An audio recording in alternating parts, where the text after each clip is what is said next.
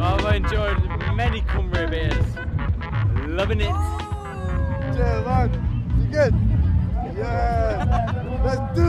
It's really relaxed. Really relaxed, and you know a lot of people here, or I do anyway. And yeah, it's just a very sweet festival, and it's not got uh, the big corporate thing, which is what I like. Yeah.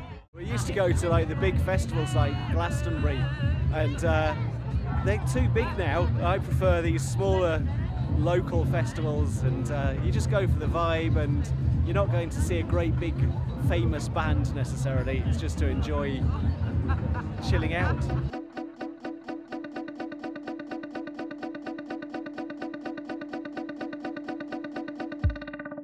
Uh-uh.